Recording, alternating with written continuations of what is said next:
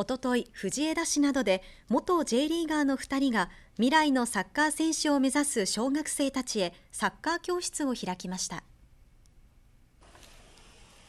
静岡市の企業が開催したこのサッカー教室にはジュビロ磐田などで活躍した鳴岡翔さんと大井健太郎さんが講師となり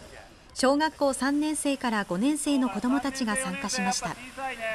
子どもたちは講師の2人から相手をかわす技術や試合で効果的な動き方などを教わると目を輝かせながら挑戦していました。